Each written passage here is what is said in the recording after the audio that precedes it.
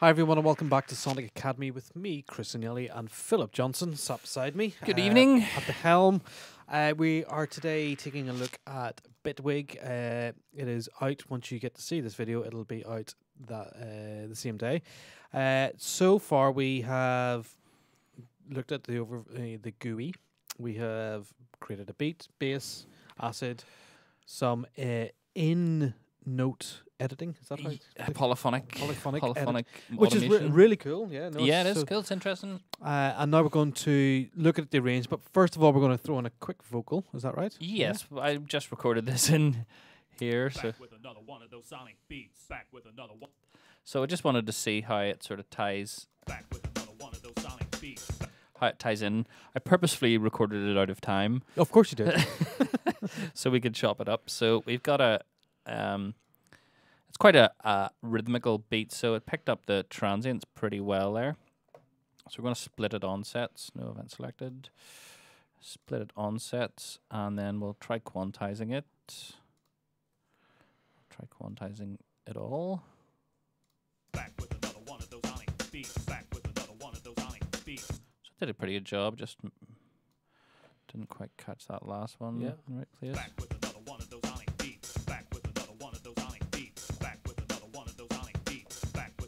With And then we can do different stuff. You can pitch it down. yeah, I can hear. I can hear. Go- one of those sonic beats. I can hear individual ones getting pitched up.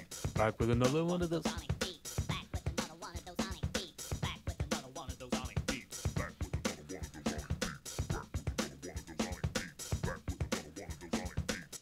Let's try and get some processing on there. Just throw something on quickly before we um get a bit EQ.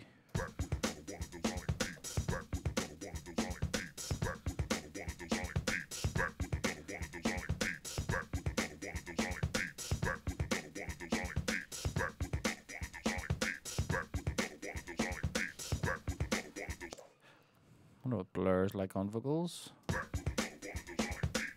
It's pretty cool.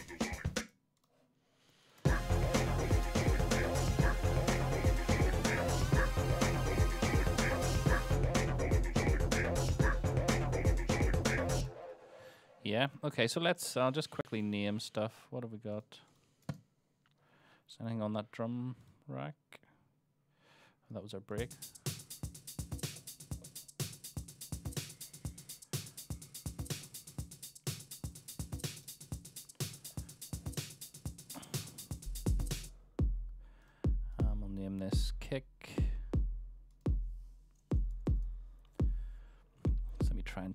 Name.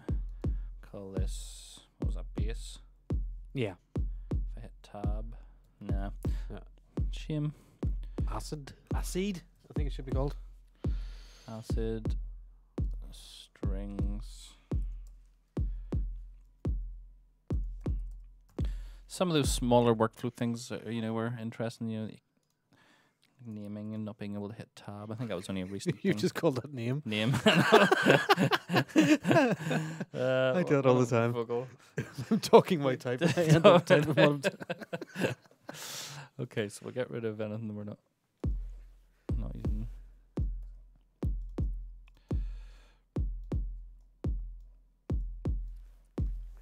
Okay, so we've got this mode, which is standard Ableton Fair, Mhm. and we've got a range mode. Which isn't standard Ableton affair. N- no, well, th- no, this is. no, I know, but it's, it's it's really badly implemented, is what I mean.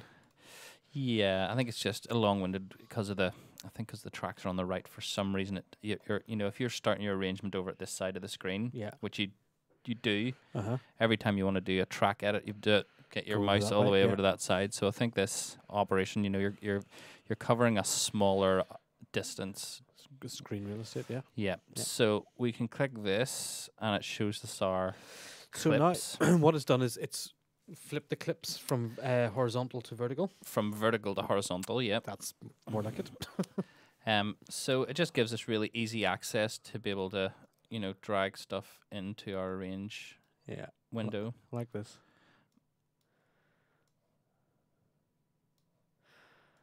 And we could obviously just select a bunch and drag them all together. And then we can just drag stuff out Oh, we should be able to just drag stuff out. No.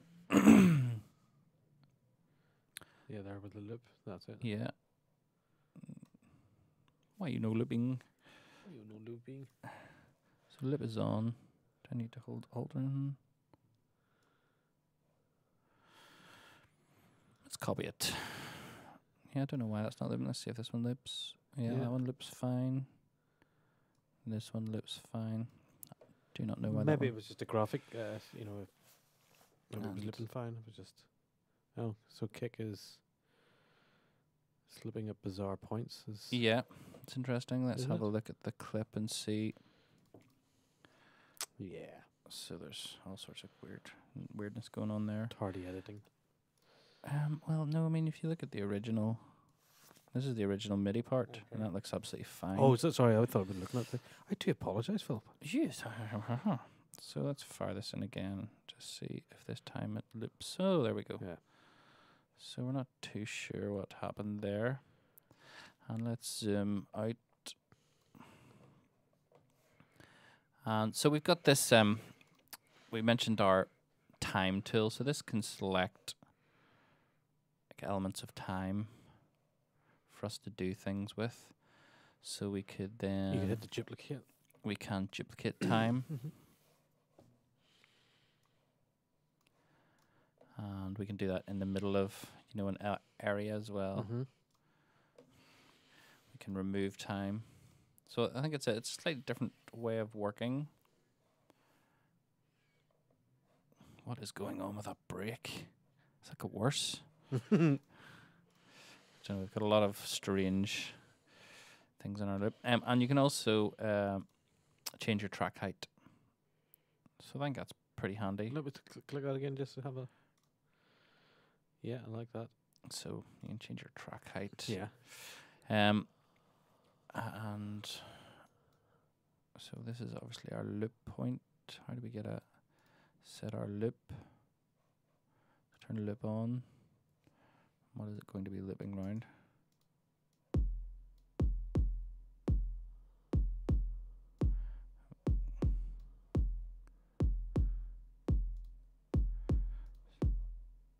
So we can drag our loop.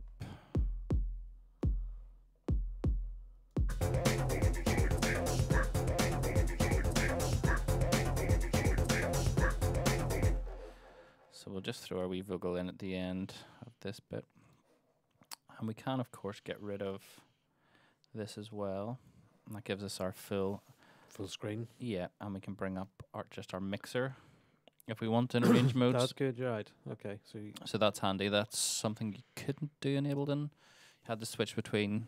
the two views. Yeah. Yep, yep. So this is a nice view. This is how I would like to arrange, you know, 'cause you're sort of arranging and And mixing. mixing as you go. Yeah. Yeah.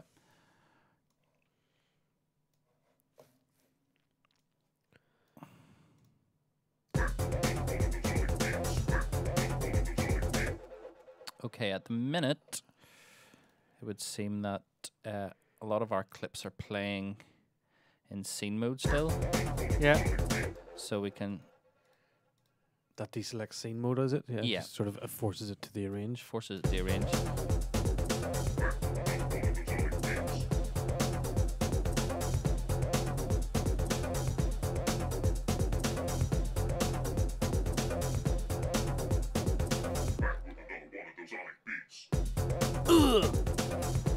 Yeah.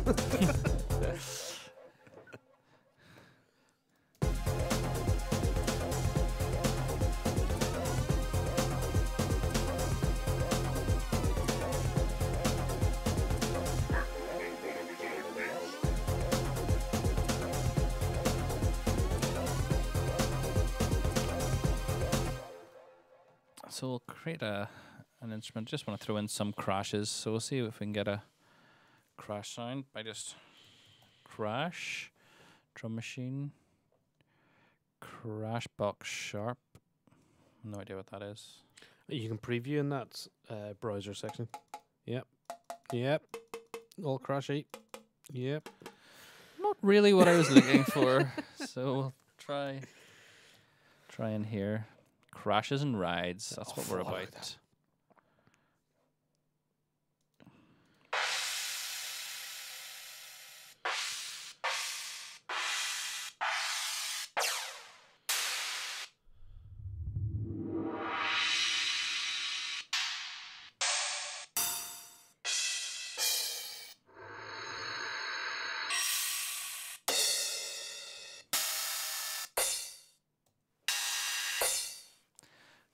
Sort of 909. a bit short, is it? Yeah. Do. It's a bit more like it. I want to put it on top. Is that going to work?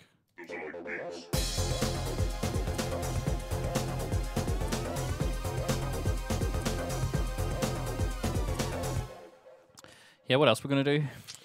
Have a uh, breakdown? A Breakdown.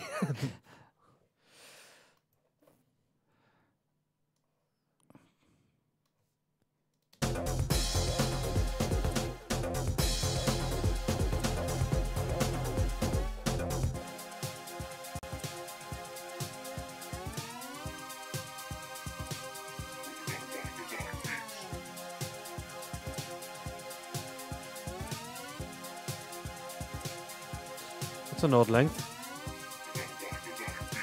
Is it? Yes, it is. Why is that? Everything's in everything's in odd lengths. That was that was me just being. I've got it. Too excited. Yeah, so let's uh, fix that. I blame Bitwig for that. I've no idea why I do, but It's an obvious bug in the system. I think we'll uh, bugging my system. Yeah, we'll have to write to them and say, look, you know, I'm still getting it wrong. Haven't I? Has to go to nine. I think after all these years.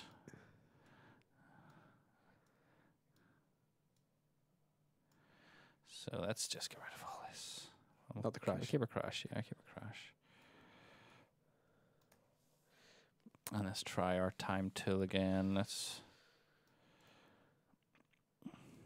and if you hit duplicate over here, would that do the same job?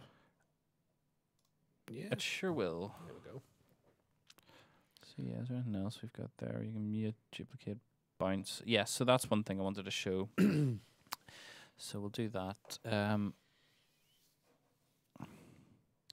so let's have a, a breakdown here. I think maybe it'd be nice if there was a bit of indication around like Yeah, like the ninth bar, the thicker yeah, line or something. Yeah, absolutely. Like they do in the range section here. th- There's a thicker bar. You want it up on the timeline at the top. Yeah. Yeah. if it was on the timeline, and also ones on the 9th and the seventeenth, and you know to Yeah. show you your eight bar phrases. Or it might be something optional you could turn off. That'd be nice. Uh, so yeah, we'll go go for a breakdown, and I want to show you bouncing in place. Yeah, and and the- w- what can be done here. So there's some there's a really cool feature. So we've got effectively a an instrument track here with our acid sound. And what we can actually do is select a, an element of time.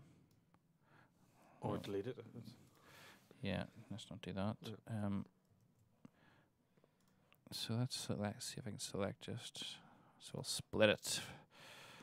Let's split a bit here, at the end. I really like having buttons for tools. Yeah. So so Ableton doesn't have a key command for It It has a key command for just switching to the thing, but there's no like slice button or slice tool no. or uh, eraser tool. So I'd be lost without that. So we've got we've got a MIDI track, and we can bounce in place. And now we've got a hybrid track. And what's a hybrid track, Phil? Okay, so you see there that we've got audio tracks which have the wee, Audio, symbol. we've got MIDI tracks have the wee thing, and then we've got a hybrid track now which is like half and half. half and half. So basically, we've got MIDI on it as well as some audio. So that's pr- really cool. It means you can Mhm. sort of use the same effects. So we've still got our, our delay on. We don't have to create a new track, put the same delay on. So it didn't bounce the effects. Then it just bounced the the Yep. synth. I imagine so. So let's uh, go in, get our mixer up. Yeah. So. For all right. intents and purposes, it sounds exactly like the the MIDI. But then we've also obviously got we've now got this part that we could say split it onsets. We could reverse. do reverse bits.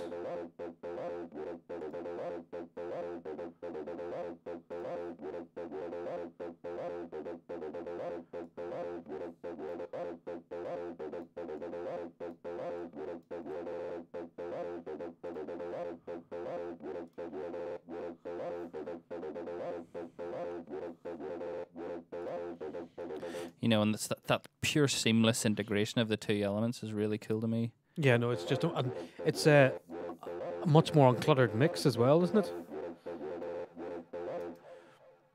You're not having to Yeah, open. You know, if you say you're using UAD stuff there, you don't have to open up other instances of UAD. It's all in the one channel. yeah, is yeah. So good. it's saving you a process and saving you all sorts of stuff.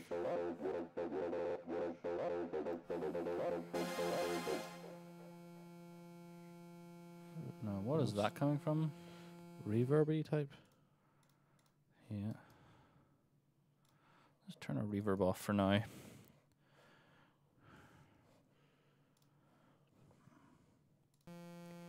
Oh, we must have something coming from somewhere. Some notes sort of being held, is it?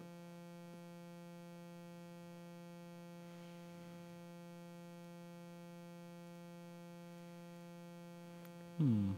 No, because none of the channels are showing meters, so it's just the reverb channel. Just re uh, switch out the plug-in and put it back in again. Yeah, did it? Didn't it? Yeah, I'm not sure what is S1 effect. Is that? And if we turn this down, PM Bitwig about that one. Dear Mr. Bitwig.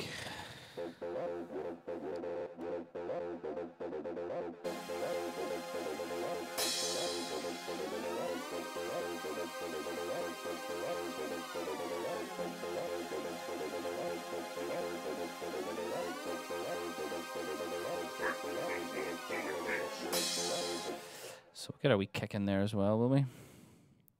Let's see how easy it is to just take part of a kick. Can I just take? I'm going to be adding that on there. So I want uh, a razor. I just want the first bit.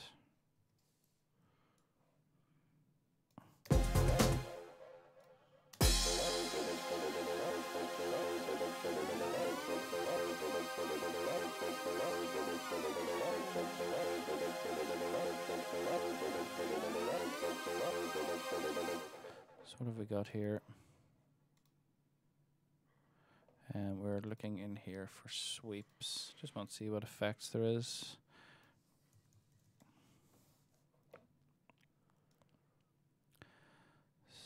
So surge effects.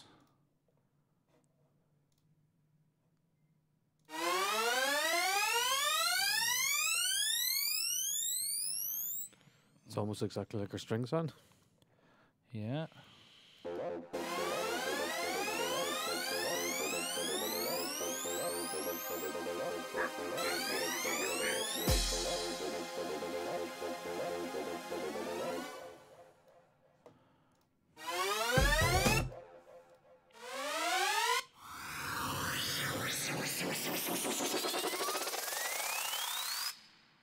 Take that as well. Mm-hmm. And how's it handling tempo issues? Is it automatically warping them, or Yeah, Yeah. has that stretch on. and It's got uh, that original tempo's ninety three. I guess I could turn this to raw mm-hmm. and then just position it wherever I want. I'll maybe try that with the other one as well.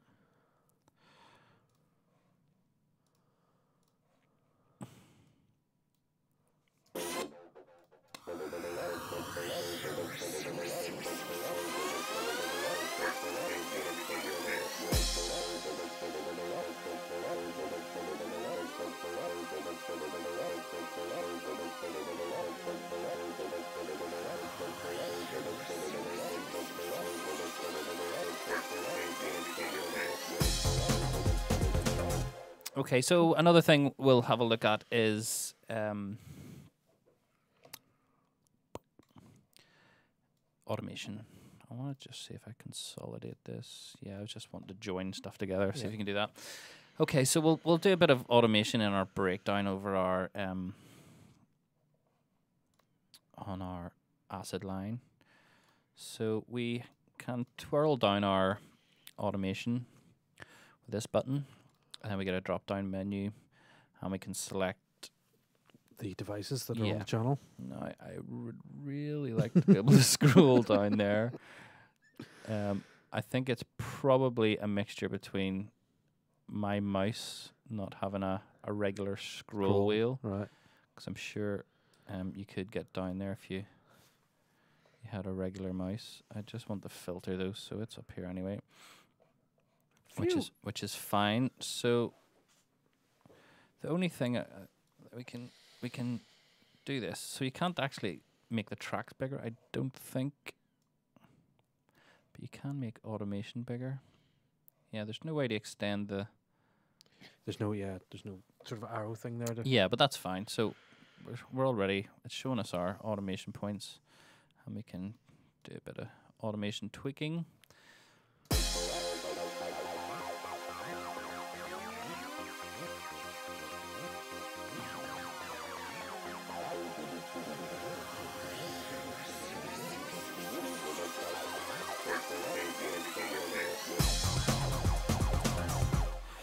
Um, so we can do curves. We can hold down Alt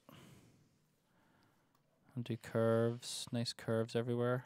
I just checked on my laptop, Bitwig, and the menu does scroll. It does Um, scroll, Yeah, so it must be a combination of maybe dual screens and uh, quite possibly. Yeah. so you can draw some nice curves in. It's very easy to operate. Um, nodes go in just as you would expect. And doing a second layer of of automation, does it twirl down again, or is it draw it in a different color? So how do I get rid of automations there? So um, Double click, is it? just delete. Yeah, cool. So that's cool. So can you draw on a resonance for me? It's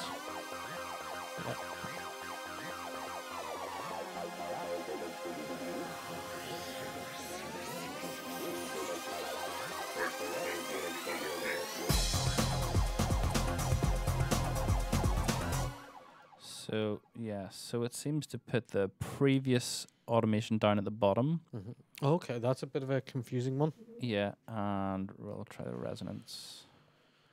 So I'll start off. So it's the same color.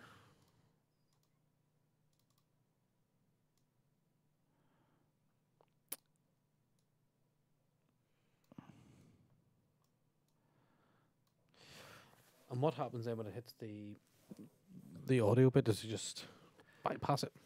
Uh, Just forgets about it almost. yeah, it'll Just just go play, play the, the play the audio. Yeah.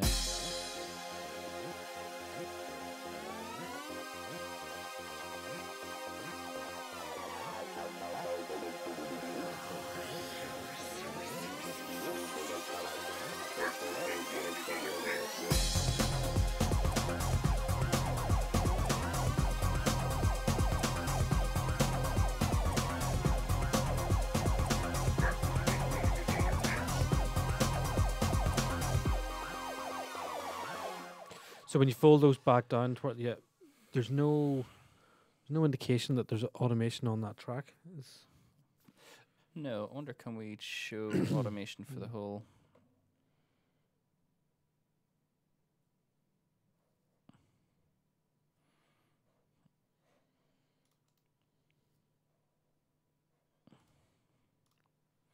Just shows you it when you yeah.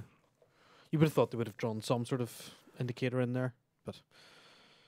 Show all automation lanes. That's Mhm. in there. So let me.